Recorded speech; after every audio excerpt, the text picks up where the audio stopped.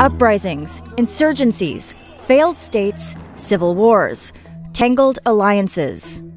Welcome to the Middle East. Amid the complexities, there are two common actors Saudi Arabia, the majority Sunni Muslim kingdom, and Iran, the home of Shiite Islam.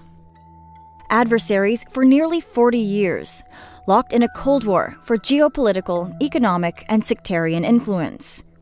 Now, new leadership in Saudi Arabia is pushing a more aggressive approach to Iran, emboldened by the Trump administration's similar rhetoric. Iran, in response, has warned Saudi Arabia against its hawkishness, and many fear that tensions could escalate further.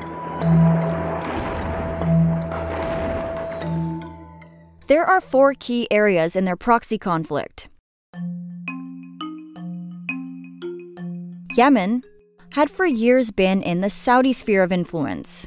Saudi Arabia entered the war in Yemen after the Houthis, a Shiite linked militant group supported by Iran, took control of Yemen's capital, Sana'a. It launched airstrikes, a ground offensive, and restricted access by sea.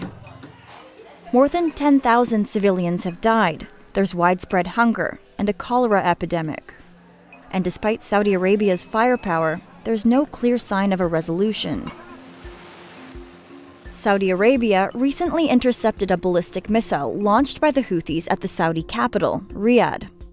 The Saudis accused Iran of supplying the missile, which the Houthis and Iran deny. Saudi Arabia called it a blatant act of military aggression. In Syria, Iran has long been an important ally of Syrian President Bashar al Assad, who's from a minority Shiite sect and rules over a majority Sunni state. An uprising in Syria grew out of discontent with Assad. Syrian security forces responded with violence, and the rebellion took up arms, turning it into a civil war. The Saudis backed the rebels, most of whom are from the country's Sunni population, the kingdom wanted Assad to be removed from power. Iran provided the Assad regime with elite forces, intelligence, and training.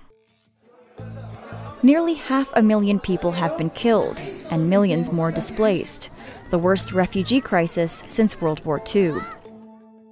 Now, Assad looks set to stay in power, a win for Iran.